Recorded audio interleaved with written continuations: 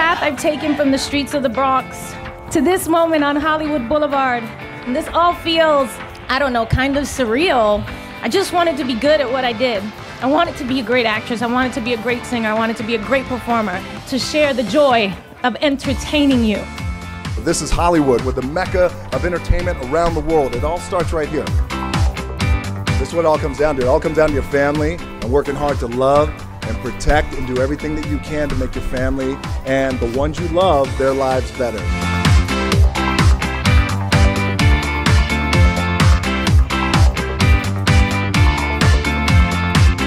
It's thrilling to have May Wong, the first Asian American actress, as my neighbor. We could actually start our own little Chinatown right here. I think about what a star is, and I think about a star being liked for so many people. A star you can always see even in darkness. So my hope is that anyone in this town whose dreams may be on life support, I want you to walk past this star in particular and know that I've been there. This one in particular is for the underdogs.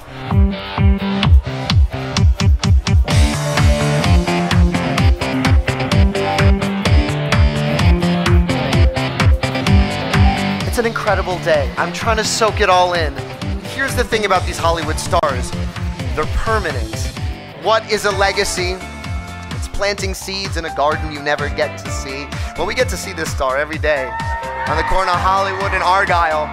Lo único que les puedo decir es que siempre recuerden que trabajando mucho, sin descansar y respetándose uno mismo y respetando a los demás, se pueden lograr cosas que uno nunca se soñó. Gracias a todos mis fans por estar aquí y un beso a Colombia y a todos los colombianos que están aquí. Gracias por venir. I feel like a lot of people probably only ever thought I'd make it to the Walk of Shame, but here I am. Today for me is a celebration of something that my dad taught me, and that is to thine own self be true. And if you walk along this boulevard and you look at these names, there is a power that lies in that. There's a power in believing in yourself.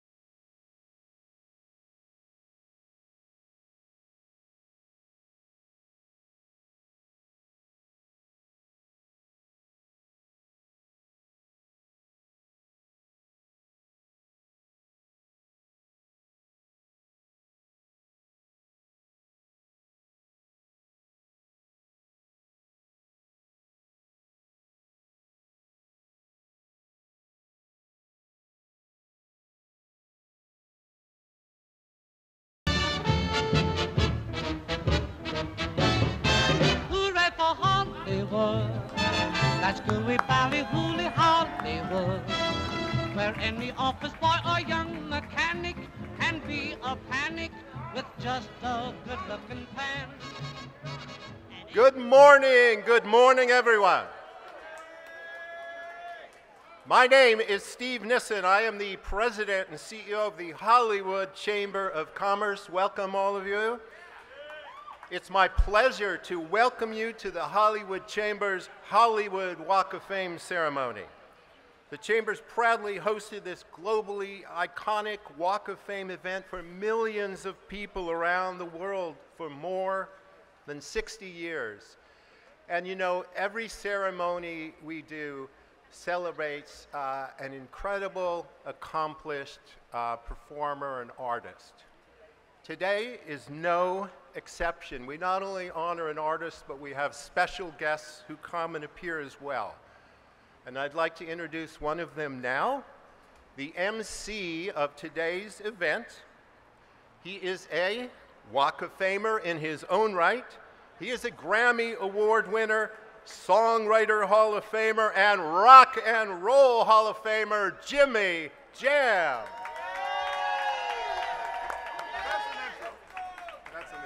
Thank you. Thank you, Steve. That's a heck of an intro. How's everybody doing today? We're good? I'm excited to be the MC today as we welcome Melba Moore to the Hollywood Walk of Fame. Now, before we get started, let's give a big shout out to our fans watching around the world on our live stream media partner, Variety. So thank you, Variety. And a big sponsor to uh, our sponsor, our, to keep us hydrated, is Niagara. So give it up for Niagara so we're not, you know, we're hydrated because that's, that's important. So the Hollywood Walk of Fame recognizes achievement in the categories of motion pictures, radio, live theater, live performance, sports entertainment, recording, and television. So today, in the category of live theater, live performance, we honor Melba Moore with star number 2760 on the Hollywood Walk of Fame. Now, before we welcome Melba to the stage, let me tell you a little bit about her. And I got to read this because there's so much stuff here. I'm not going to commit it to memory. First of all, let's start out with the fact that Melba is a prolific five octave singer, a Tony Award winning actress, and a four time Grammy nominated artist. She has conquered the genres of Broadway, contemporary soul, R&B and pop, rock, jazz, gospel, and classical music. Now, Melba started her Broadway career in the original cast of Hair, which I used to have some, but no, no more, becoming the first African American woman to replace a white lead actress in the role. She would later solidify her place in America's heart with her Tony Award winning performance as Lutiebelle Gussie Mae Jenkins in Purlie. You know that, right? Her other Broadway works include Timbuktu, Inacent Black, Ain't Misbehavin', Brooklyn, Chicago, and Les Miserables. Setting, setting another first when she became the first black woman to play the lead role of Fantine. So just nothing but history happening here today. You get that? Now, Melba's success only continued to expand with her recording career. Her cover of friend Aretha Franklin's classic Lean on Me earned her a Grammy nomination, and her hit Read My Lips made her the first African American woman nominated for a Grammy in the rock category. All right.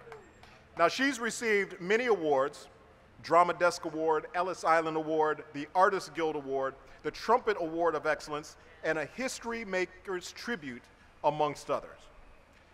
But more than that, Melba is an entertainer who also happens to be a civil and equal rights activist. Melba's 1990 version of Lift Every Voice and Sing, which she recorded with BeBe and CeCe Winans, Stevie Wonder, Dionne Warwick, and many other prominent entertainers, was entered into the congressional record as the official black national anthem. All right. But that's not all. In 2017, it was added to the United States National Recording Registry and preserved by the Li- Library of Congress as an American oral treasure. Melba's latest work is her new album entitled Imagine, which I was listening to on the way over, which is absolutely tremendous. Please pick that album up. Uh, it was released in April, but it's beautiful. Melba continues to delight fans with performances at home and abroad. So I say let's meet the woman herself. Please help me welcome to the stage Melba Moore.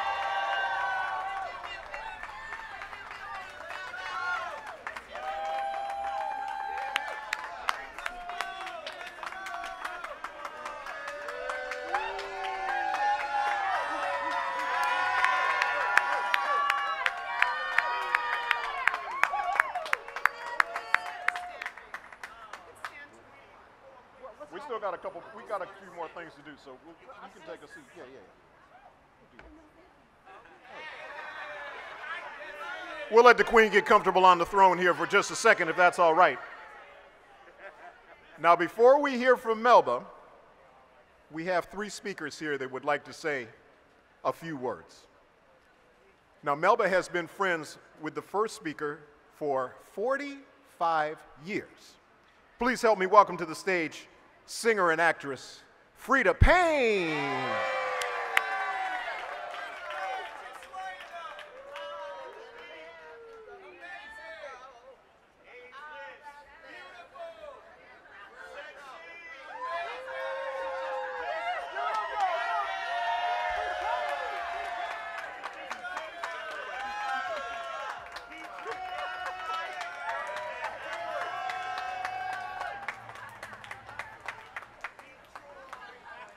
Well, first of all, I'd like to say congratulations, Melba, my dear friend, for 45 years. The first time I saw Melba was when she was playing the role of Gussie Mae Lutiebelle Jenkins in Purlie, and that was 1970. And then about six years later, I get a call from a Mr. Charles Huggins. He says, um, me and, and my new bride, we just started our own management company, and we've got two men working for us, Jerry Silverheart and Rand. Was that, Rand Stahl? Anyway, anyway, I, and he said, we would love for you to come and join us. So I was their first artist on Hush Productions. It was back in, it was in 1977. And on top of that, we both, this was just a coincidence, but we were both pregnant with our first child. I had Gregory Abbott Jr., I had a boy, and she had a girl, Charlie, and she was born in June, and my son uh, was born in September. I have also, I know that Melba has done, Melba was in Timbuktu with Eartha Kitt. And then she was in um, Inacent Black on Broadway. This was all Broadway, by the way. And um, I remember Melba and I did a double billing. We performed together in Atlantic City. And I believe the year was like 19, oh Lord. Anyway, it was in the 70s. anyway, it was it was in the 70s, and we like opened the show together, and then I did my thing, and then she did her thing, and then we we did a medley together, and this was wonderful. I remember I remember Lou Rawls and Nancy Wilson came to see us that night. Yeah, but we've had so much fun over the years, and I have watched her excel and excel. But then there was a period in her life where there was a little dark period, and I won't go into that but we know that Melba came out of it. And God is good because we believe, I believe in retribution. And Melba Moore, you are a queen. You are a shining star of strength and one of the most fabulous vocalists I know. I love you, Melba Moore.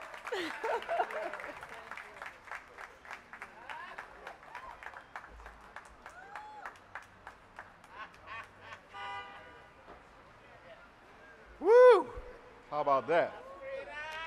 That was beautiful. But, but we're just getting started on. Hold on. Thank you, Freda. Now, by the way, let me mention Melba has a bunch of friends here in the audience who are all here to support her. Let's give it up for uh, Thelma Houston. Is Thelma Houston here. Where's Thelma? Yes, yes, my girl, Thelma. Wonderful to see you, girl. We also have Shanice Wilson and Flex Alexander. All right. And I know the CQ family's in the house, so we'll shout them out. We also have Tisha Campbell. Where's Tisha? Yeah, girl. Woo! You're fabulous. And how about Mr. Deon Cole in the audience? Deon. Don't let him take your body wash, brother. Don't let him take that body wash. All right. Thank you guys for attending today. Our next spe- speaker is a popular comedian, comedian, and you will know why shortly. Please help me welcome to the stage Katt Williams.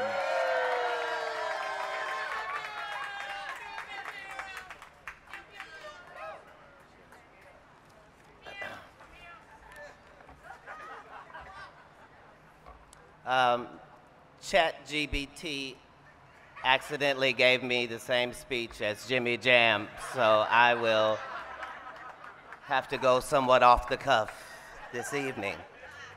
Um, we are here to honor the extraordinary life and achievements of a true legend. And in these day and age, we call somebody a legend if they've been doing something for 20, 30 years. But to be at the top of your craft in stage, television, music, and film, there really has never been anything like it. I looked up who paved the way for Melba Moore, who was the person that excelled in all of those things, and I found out that that person did not exist. Melba Moore is a one of one in our industry, and that's what we're celebrating. Uh, beyond the bright lights of Broadway and television, Melba Moore's recording career has spanned six decades. Let that sink in. Six decades.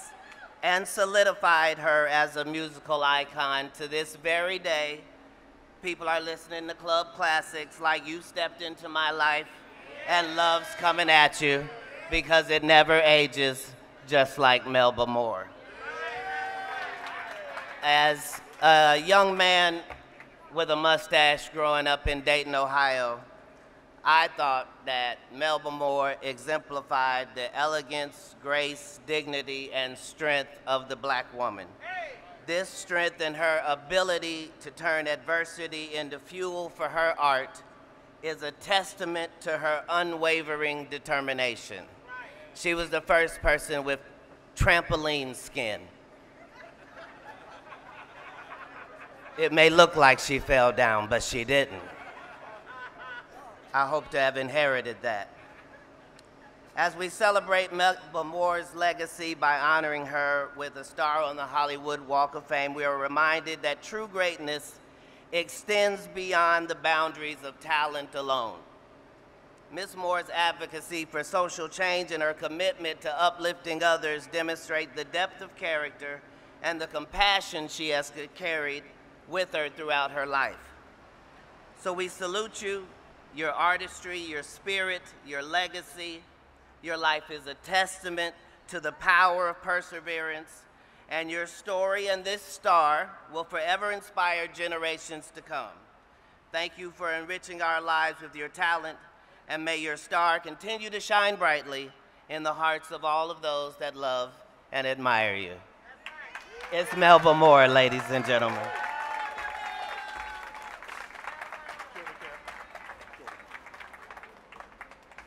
One more time for Katt Williams, ladies and gentlemen. Not bad for Chat GPT. Um, no. Um, so, for our final speaker of the day, an actress and comedian, Luenell Campbell. Luenell!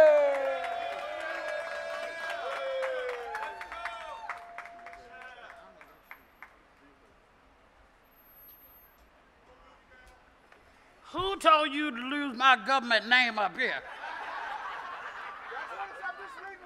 I'm not, I don't use Campbell for a reason. I'm getting a couple of things cleared up, God dog. And now you got me out here in the middle of the street hollering my government name on TV. Ooh.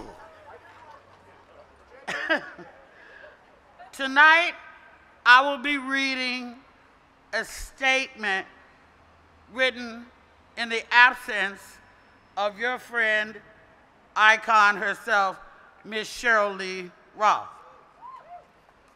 Before I do that, Melba and I are two unlikely friends, I know. But we are. I came from theater before I did anything else. I'd never heard a voice like yours. You were so perky. And then when you got with that fine Clifton Davis and y'all had that show, it wasn't just Sonny and Cher, it was Melba Moore Clifton Davis Hour as well. And I loved it, and this is such an honor for me. If I never get to stand up here for myself, I'm so excited to be able to stand up here for you, okay? Okay. Now, this is in the words of the Cheryl Lee Ralph.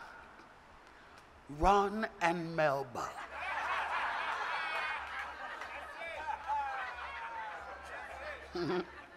I know my team has reached out to you about my not being able to attend your star ceremony.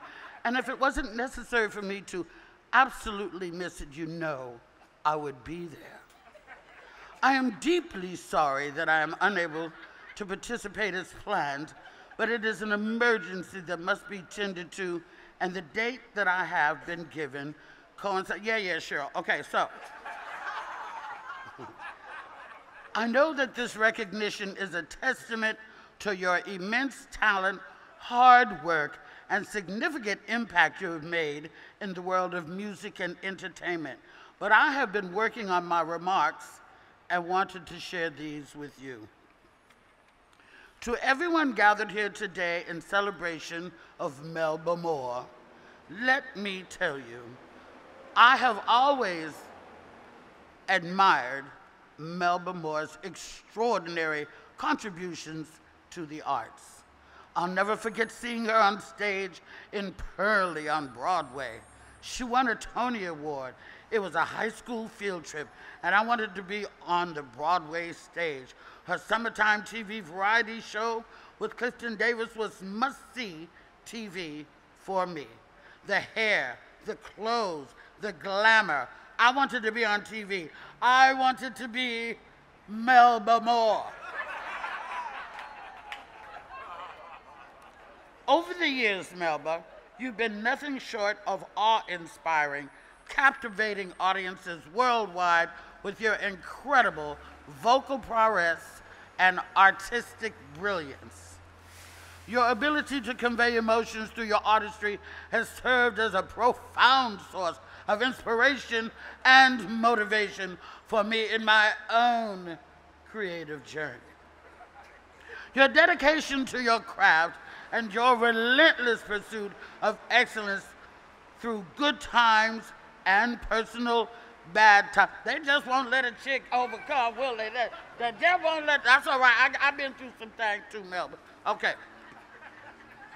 Through good times and personal bad times, have set an example for countless artists like myself. With each note you sing and every character you portray, you have touched the hearts of countless individuals, leaving a lasting impact on the world of music and theater. Today, as your star is laid, know that your honor may have been delayed, but you have not been denied.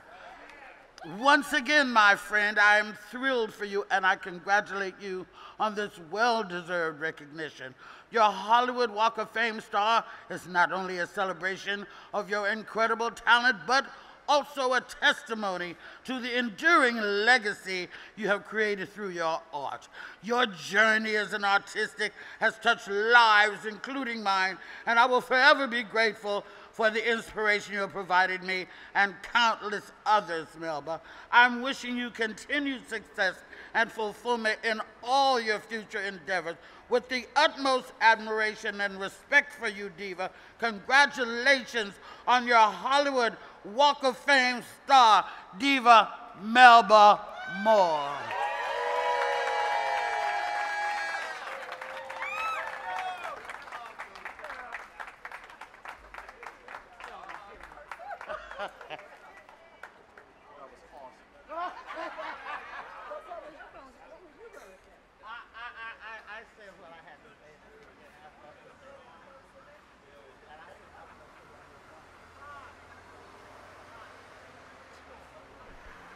One more time for Luenell. Was that better, Luenell? Was that? I left that last part out. That was good, right? Okay. Just Luenell, y'all. Edit that other stuff out. All right. I had the honor of uh, having him introduce me, so now I get to introduce him.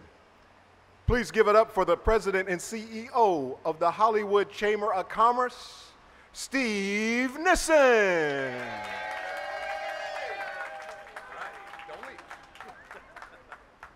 Thank you again. So, uh, as you may know, the Hollywood Chamber of Commerce administers the Walk of Fame on behalf of the city of Los Angeles. But before I do the official thing with the proclamation, one observation, Melba Moore, this is the first time that I've witnessed the honoree walks up, sees, this is about 30 minutes ago, sees the MC and starts screaming. And I thought, oh my God, did we make a bad choice here? Uh, now, you all know what scream I'm talking about, right? Because I heard it several more times. It's, it's the scream of happiness. And so let me say, this star is just uh, feet away from one of the most famous corners in the world, Hollywood and Vine. And I walk down this street almost every day. So, uh, Melba, every time I pass your star, I'm going to hear that scream. okay.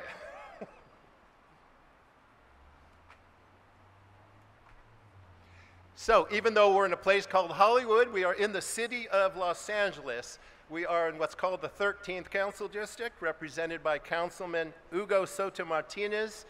On behalf of the councilman, I'd like to present you with a resolution on behalf of the city, the mayor, our councilman, and declare today Melba Moore Day in Hollywood. Come on in here. Let's go up. Can we go up here? Do we have room? Okay. We got it.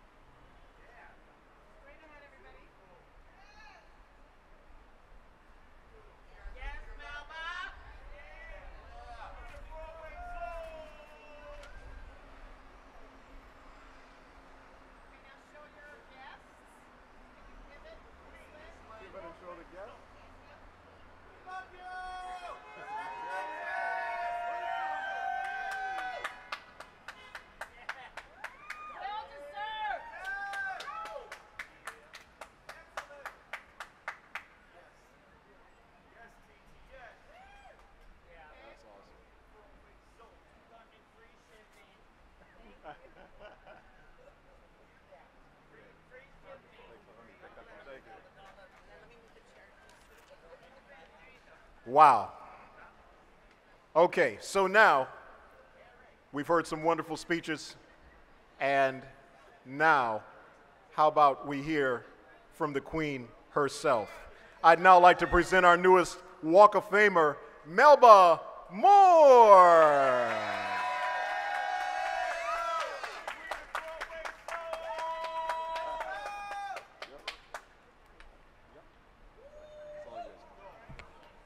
I promise not to scream.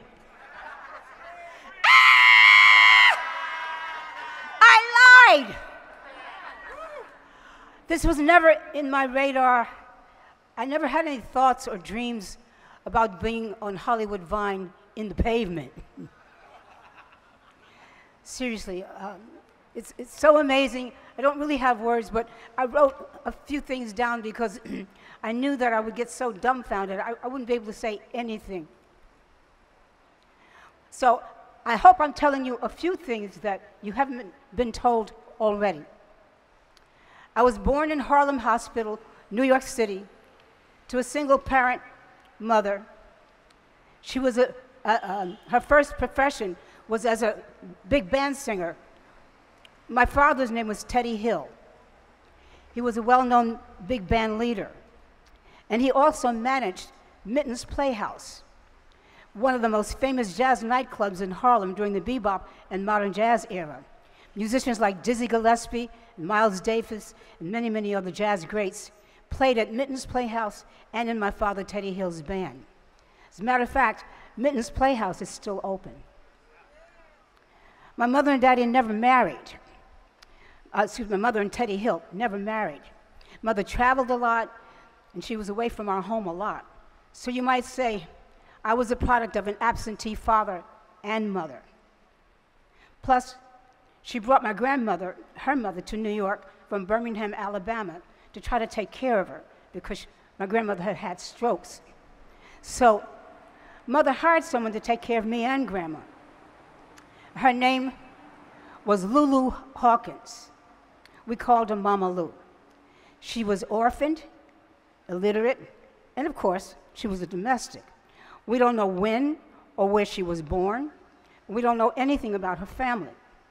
But the last place she remembered living and growing up and working was Salisbury, North Carolina, on somebody's sharecropper farm.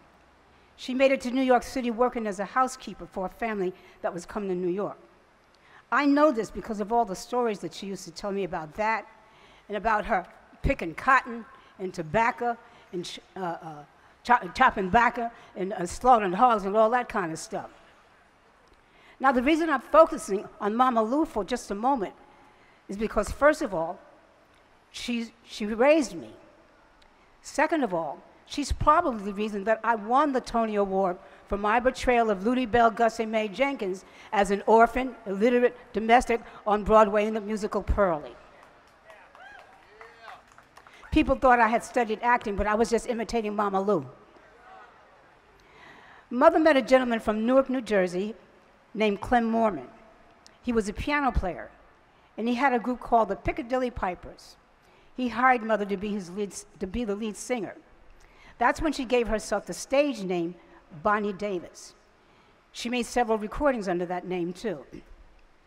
But they fell in love and got married. So me, Mama Lou, Grandma, Mother moved to Newark, New Jersey to live with my new stepdad and his son Dennis, his daughter Clementine, and later we had two half brothers, Elliot and Gerard Moorman. I was nine years old at the time. So I went from being an only child, a very lonely child, in a broken family with no music to speak of in our lives. I went from that to being a part of a whole family a sister, three brothers, cousins, aunts, uncles, mother, father, grandparents, relatives up the wazoo.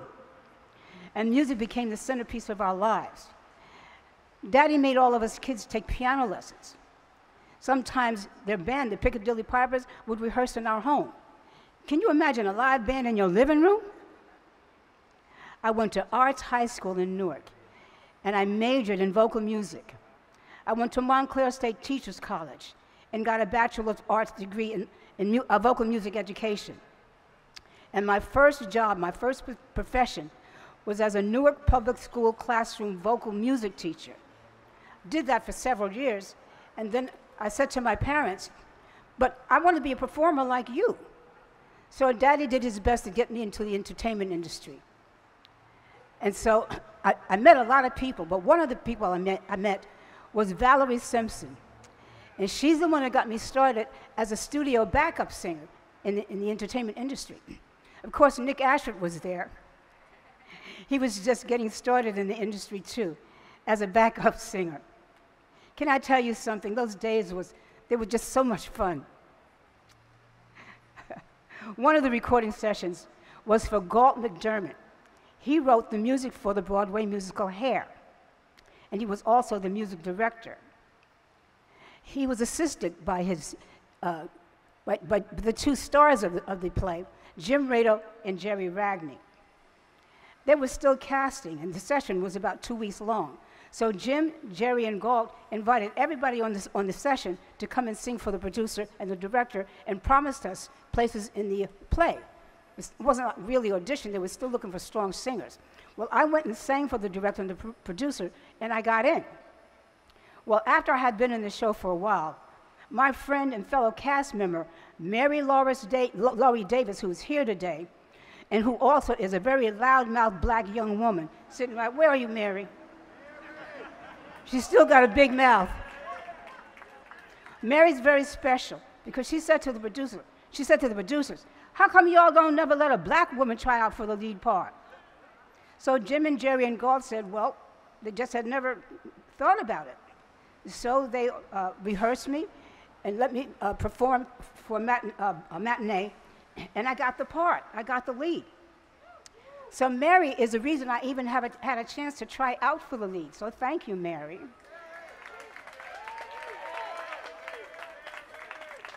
There are a lot of very talented young ladies that played the lead of Sheila in that uh, play, but one of them was Diane Keaton, so I wound up replacing Diane Keaton.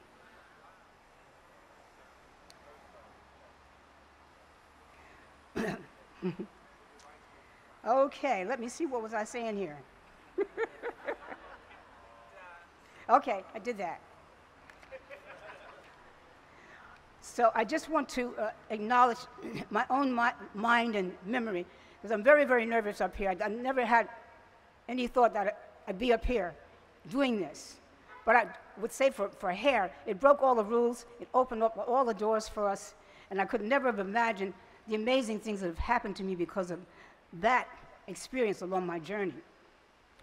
Things that have been mentioned, like uh, the Melba Moore Clifton Davis show, my guest appearances on Ed Sullivan, Johnny Carson, Carol Burnett, Flip Wilson, Bing Crosby, Bill Cosby. and I want to thank, uh, want to thank Jerry Silverhart, who's here, who was part of our management. Where are you, Jerry? Help, help me say thank you to Jerry, please. We did so many things that I'm not able to mention here because I, I, don't have a memory like he does. But um, I was a guest uh, on soap operas, uh, the Academy Awards, just to name a few. And I want to say thank you to those that were responsible for my very long and successful recording career, including a new project that's out now that Jimmy Jam was telling you just about now, which is headed by my daughter, Charli Huggins, and her Uncle Bo. Would you stand up, Charli, so my people can see how my beautiful daughter is. this new project is on her label. It's called Gallery Entertainment. Uh, it's called Imagine. And uh, she's just added a new bonus record, uh, which is a cover, or excuse me, a remake, a remake of the classic R&B hit by my friends Nick Ashford and Valerie Simpson. I'm laughing because I can't even talk. I'm too excited and nervous. But I got to say this and, and acknowledge it. And this is the first speech I've ever tried to, to write. So hopefully I get a lot more awards and I'll learn how to write speeches. I can't believe the incredible things that are happening to me right now. I'm so grateful to be still doing the things that I love to do and still, it still feeds my soul. I'm so excited about it. I'm grateful for my family being my biggest advocates. I'm grateful for Ms. Freda Payne for being such a good friend over the years. Ms. Cheryl Lee Ralph. Uh, uh, for, uh, Mr. Katt Williams, you are an angel. You know what I'm talking about. Your kindness, your generosity is unmeasured and unmatched. Miss Luenell, baby, you are one of a kind. I love her, and I, I, speak with her very often only because she's just a good person. She just comes in and warms you and lets you know that you're somebody that matters to her and, and to the world. She, she lets you know th that you matter on this, on this, on this planet. I, uh, you already know, uh, I want to say uh, thank you to Mr. Richard Jay-Alexander. He's the one who cast me as the first Black Fantine in Les Miserables. And you know, it's not about a black people, it's about a French Revolution. So that was very creative casting. I want to say thank you to Ron Richardson here, who's brought incredible people into my life. I want to say thank you. I want to thank you to D-Nice and Club Quarantine and the Club Quarantine crew. Anybody hear from them? Cross the street. Ah! How amazing they have been in keeping me out there and relevant to everything that's continuing to go on. Our society is changing and in volatile ways and dynamic ways.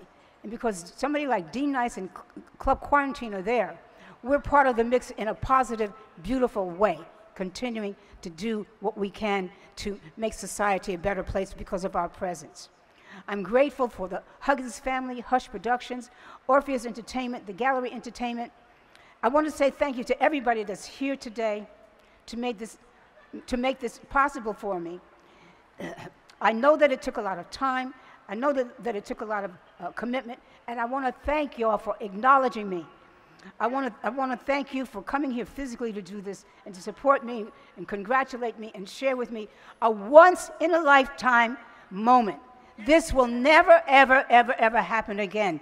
Thanking you for making it happen for me. The Chamber of Commerce, thank you. There's so many people that, that had something to do with making this happen that I don't know who you are, but I thank you.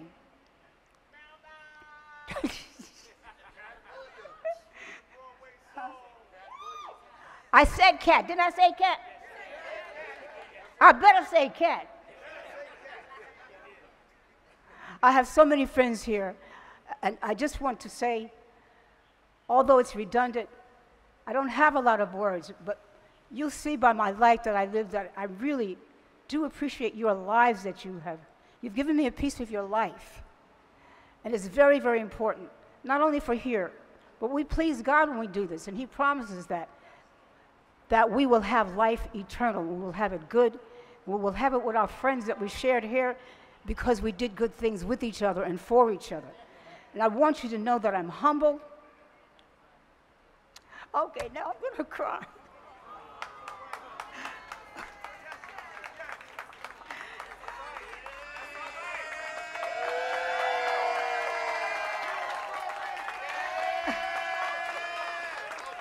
I want you to, to know that I'm honored, that I'm absolutely astonished. I never, ever, ever thought of anything like this. I never even thought about it. I'm really kind of dumbfounded. And I want you to know from the very bottom of my heart, I thank you. I thank you. I thank you!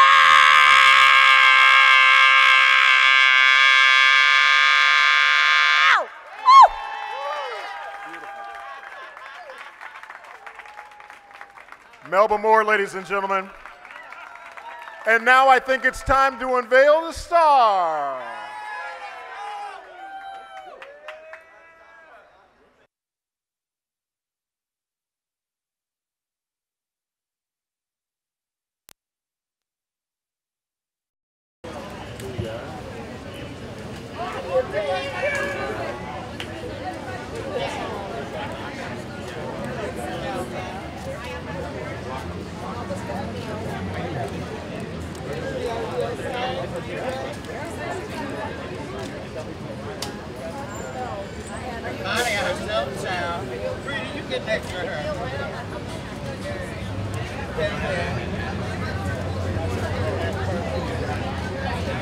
Ladies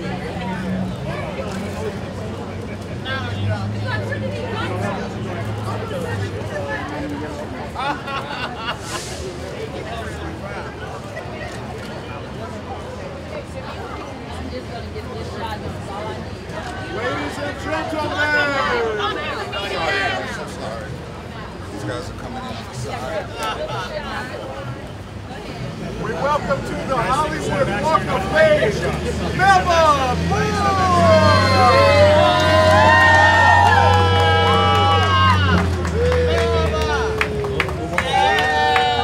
Ladies and gentlemen, please take your seats. You guys are all in the media shop. Please take your seats, guys.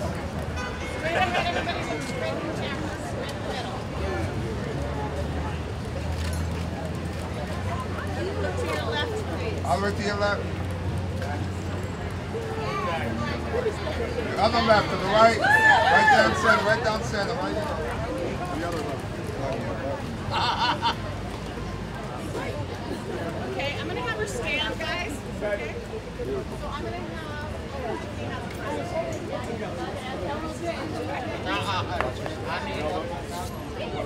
I'll have Katt stay. Katt. Wait, wait, Katt. Katt. Katt, get in there. Katt. Katt. We need you.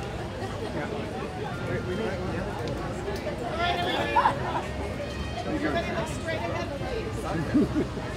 Anna, do you want her on the star? Freda. Freda, we don't see you, Freda. There you go. There we go. Remember the And Kathy, as a group right here, everybody. Dixie Cat. Straight ahead, please. So, Katt, come next to Melba, please, like on the side. There you go. Oh, you guys want on the star? Yeah. So, Melba, Melba, one with just the come- speakers? Come, to the star. Come, come, put your feet like close to the star. What's the hook? Perfect, perfect. You guys come next her. Can we get one with just- to. Yeah, we don't need to that.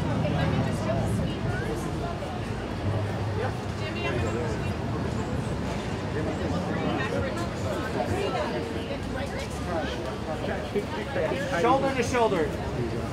Thank you, Kevin.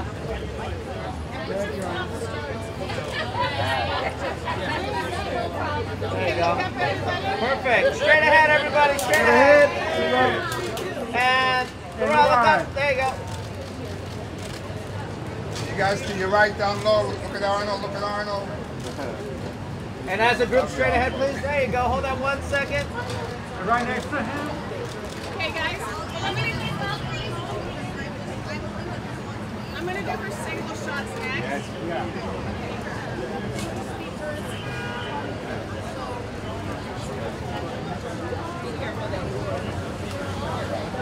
Anna,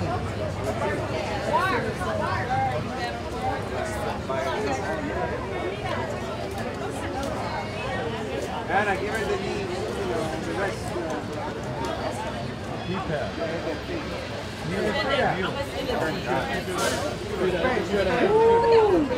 Oh, there we go. Wow. And Melba, straight ahead, please. That little smile. In the middle. Melba to your left. Melba left. Melba, that beautiful smile.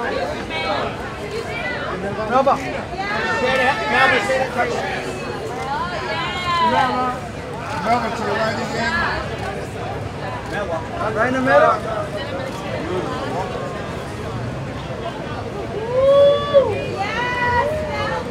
Melba. Right in the middle. And look up, Melba. Look up. Look up. Right in the middle. Down to your right, down to your right. And that beautiful smile. I'm gonna bring her daughter.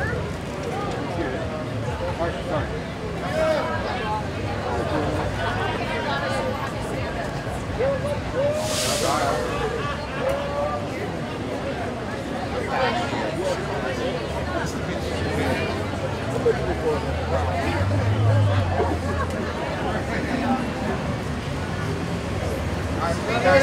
over to your right, start to your right.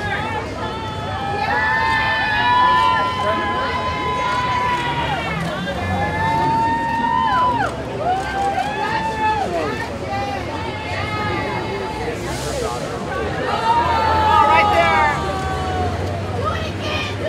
One more. There we go.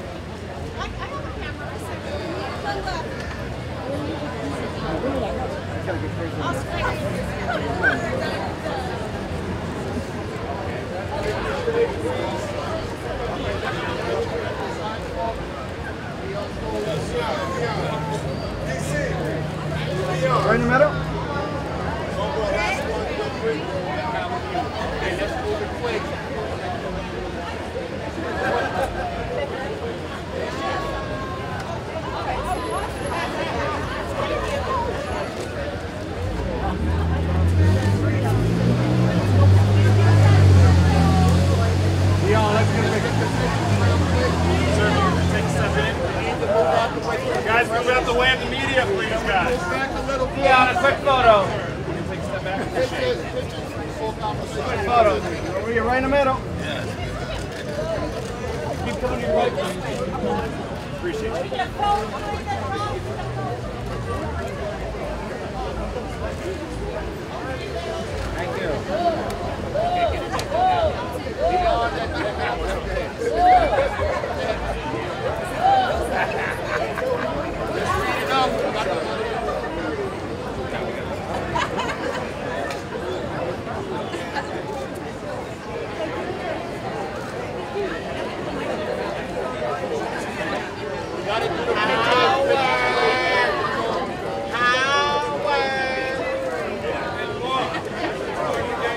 Howard, Howard. Howard, go to the left.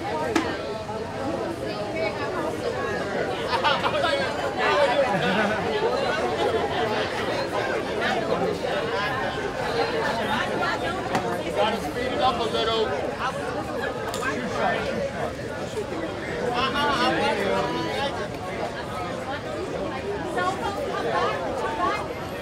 shot, Luenell. There we go, together. Ladies. Ladies together. I need a shot. Sorry, y'all. Ladies. Uh, straight ahead. You'll give me if I don't get this shot. Got it. One time, ladies, straight ahead. Straight Right there. Right there. Luenell, to your left. Right here, right here. Luenell, straight ahead.